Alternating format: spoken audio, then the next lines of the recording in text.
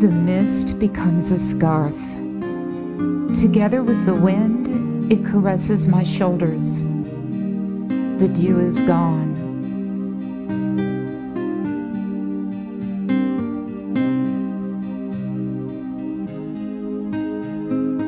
Shivers of autumn, leaves attempting to pass away, saying their farewells colored by the sun, soon to crumble into their mystical powders.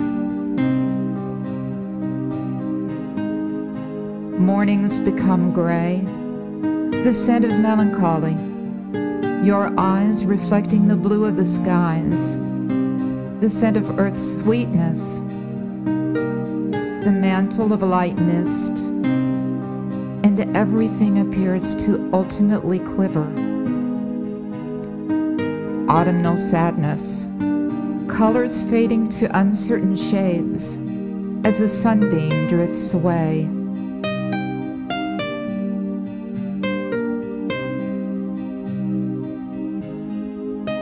Flowers entwined, as if prepared for their approaching funereal procession. Shrouds of petals.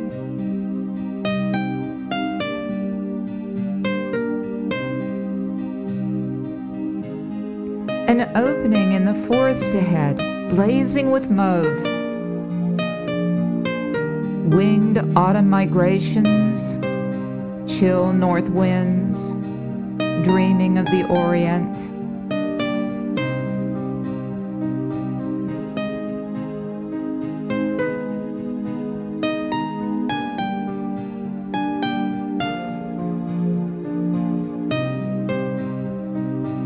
Fragrance of silence, pale moonlight reaching toward the sun with desolate languor.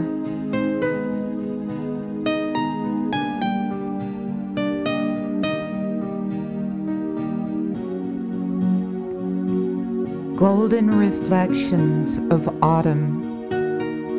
And gently, the bee begins to fall asleep in his own hibernation from the approaching cold.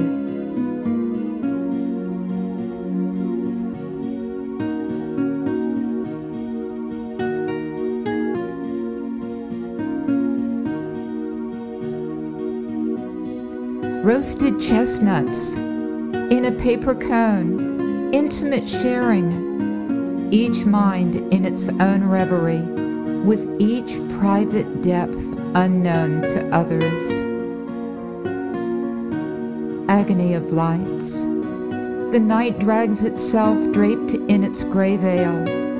Autumn light. Nature tinged with honey. Heather's bit of a dew motionless mist, Morning, the chilling song of the wind.